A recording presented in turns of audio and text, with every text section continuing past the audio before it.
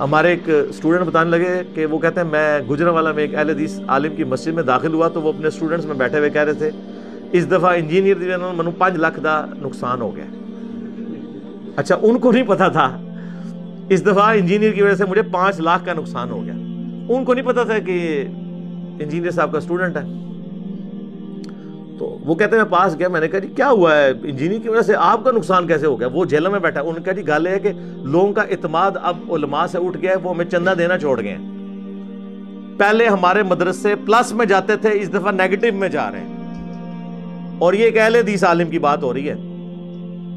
और live stories में आप देखें कि अगर अहले दीसों के साथ ये हो रहा है तो बरेलवी देवबंदियों के साथ क्या हो रहा होगा?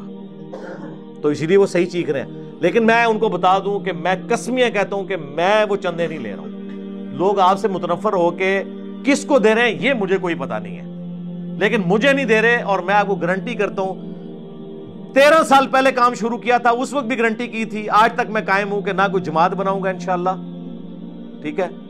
ना कोई चंदा बुक बनाऊँगा, ना कोई मदरसा बनाऊँगा। ये काम इसी तरीके से, जिसको भी अल्लाह ने तोफीक दे, दी, वो लेके चलेगा। अपने अपने तौर पे काम को। ये अल्लाह ने अपने बंदे खुद उठाने होते हैं। ये गारंटी है इंशाल्लाह ताला ऐसा कोई नहीं होगा तो अब तो आपको यकीन आ जाना चाहिए। लेकिन चूँकि ये लोग खुद यही काम करते हैं, इनको ये धड़का लगा रहता है कि ये भी ये ना कर ले। फिरका ना नवा को बना ले। ओ यार, फिरका जो बना के गए वो किताबें लिख के आपको पकड़ा के गए आला हज़रत ने फिरका बनाया तो उसामुल अरमैन लिखी और बाकियों को काफर करार दिया उसमें।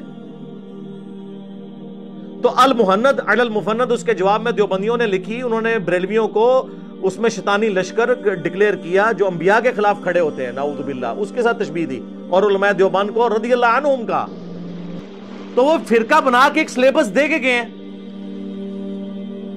हमने आपको कौन सा सिलेबस दिया हमने तो वही सिलेबस दिया जो आपके सिलेबस में आखिरी साल में दौरे हदीस करवाया जाता है और दौरे कुरान।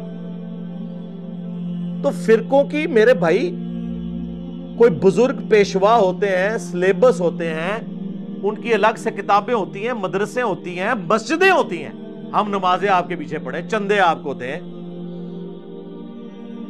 किताबें आप वाली, तर्जमे आपके हुए हुए हमें क्यों क्लेम कर रहे हैं? देखें, दुनिया में आपने किसी चीज़ को साबित करना है, वो सारी क्वालिटीज होनी चाहिए। यानी अगर आपने किसी चीज़ को पानी की मखलूक साबित करना है तो पानी की मखलूक में जितनी क्वालिटीज है, उसमें होनी चाहिए ना। अब आप चिड़िया को पानी की मखलूक साबित करने की कोशिश करें तो ये तो जुल्म है ना यार। आप कहने ये चिड़िया एक वायद पानी की मखलूक है, जो हवा में उड़ती है। यानी इंजीनियर साहब वायद हैं, जो सब कुछ नहीं करते, इसके बावजूद घूम रहा है। अगरचे इनमें हदायत वाली सारी क्वालिटीज हैं। ये गुमराह है, और हमारे बुजुर्गान दीन में और हमारे उलमा में गुमराही की हर खूबी मौजूद है इसके बावजूद वो हदायत पे कहो ना एंड रिज़ल्ट तो ये है ना, हम इस सिस्टम के मेरे भाई बेनिफिशियरी नहीं है। इस वक्त इस प्लेनेट अर्थ पे सबसे ज़्यादा व्यूअरशिप अगर किसी प्लेटफॉर्म की है तो इस प्लेटफॉर्म की व्यूअरशिप सबको पता है, आपके सारे टीवी चैनल्स की मिला के उतनी नहीं है। सिर्फ़ मेरा ऑफिशियल चैनल है ना जो, इसकी पाँच से छह मिलियन कमाई महीने की बनती है। अगर हम इसे वीडियोस के ऊपर मोनेटाइज करें और आपको कैसे यकीन दिलाएं और मेरे भाई मैं तो सिर्फ एक साल अपने यूट्यूब की कमाई ले लूं तो इस प्लेनेट के ऊपर सब कॉन्टिनेंट के अंदर कोई ब्रेलवी देवबंदी वाले हदीस बाकी ना रहने दूं मैं तो मौलवी तो खरीद लवा तनख्वाह होते हाँ ਜਿਹੜੇ ਤੁਸੀਂ 15 15000 ਤੇ ਰੱਖੇ ਮੈਂ 30 30000 ਤੇ ਖਰੀਦ ਕੇ ਤੁਹਾਡੇ ਖਿਲਾਫ ਵੀਡੀਓਜ਼ ਬਣਵਾ ਲਵਾਂ ਇੰਜ ਮੁਕਾਵਾਂ ਜਿਹੜੇ 10 ਸਾਲ ਚ ਮੁਕੜੇ ਨੇ 10 ਮਹੀਨੇ ਚ ਮੁਕਣ लेकिन मैं नहीं कर रहा। मैं एक लिमिट को क्रॉस नहीं करता। अल्लाह की नुसरत उठ जाएगी। रिसोर्सेज से कुछ नहीं होता। अगले दिन भी एक भाई लाइव स्टोरी अपनी सुना रहे थे। लाइव स्टोरी ज़रूर शायद और बिलाल के चैनल के ऊपर वो पूरी दुनिया से लोग शेयर कर रहे हैं। तो वो कह रहे थे कि अली भाई ने वो सारे रूल्स फेल कर दिए जो लोगों की डिमांड थी ना। कि जी, आपको कोई हैवी बजट चाहिए होता है, कोई बहुत ज़्यादा वर्कर्स चाहिए होते हैं, बहुत ज़्यादा आपको सपोर्ट चाहिए होती है। अली भाई एक ऐसा बंदा कि सारे फिरके उसके खिलाफ, सारे मौलवी उसके खिलाफ। और चंदा भी नहीं लेता, वो अपनी जेब से लगाता है, एक कैमरा लगा के उसने पूरी दुनिया को तलपट करके रख दिया है।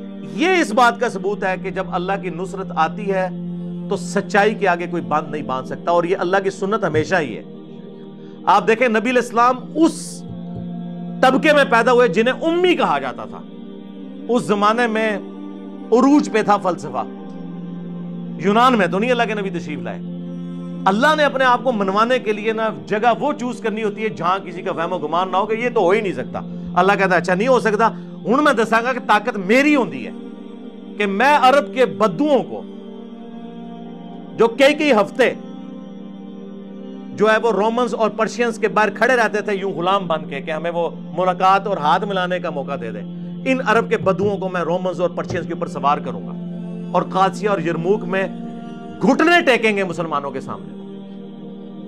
अगर रोमन अंपायर में कोई पैगंबर आता तो कोई कमाल ना होता। वो तो ऑलरेडी दो तिहाई वर्ल्ड के ऊपर हुकूमत ही रहे थे।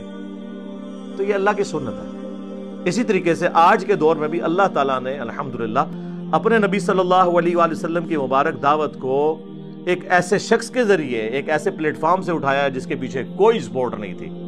और उल्टा सारे मुसलमान भी खिलाफ। गैर मुस्लिम तो होंगे ही मुसलमान भी खिलाफ।